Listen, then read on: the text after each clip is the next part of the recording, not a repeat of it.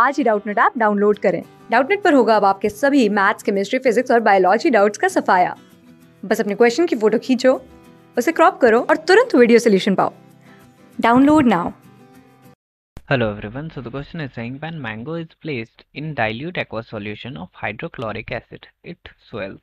We have to say whether this is true or false.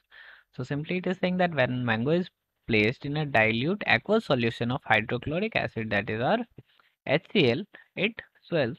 So first of all, if we talk about uh, whether it is correct or not, so we can say that this statement is actually true, right? So this statement is true the reason being that the outer solution right so we can say that the outer solution outer solution is actually hypotonic right it is actually hypotonic with respect to the solution which is inside the mango. Okay.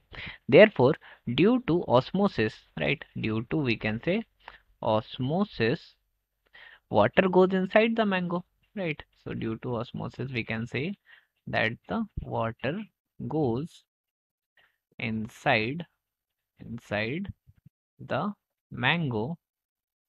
And the reason being it swells right now if you are wondering what is hypotonic so let me explain it briefly so hypotonic is a we can say that it is having a lower osmotic pressure than a particular fluid right typically a body fluid or you can say intracellular fluid fluids okay so this is the reason we can say that mango when mango is placed in dilute aqueous solution of hypo hydrochloric acid it swells thank you class six से twelfth से लेके NEET I I T JEE mains और advance के level तक दस million से ज़्यादा students का भरोसा।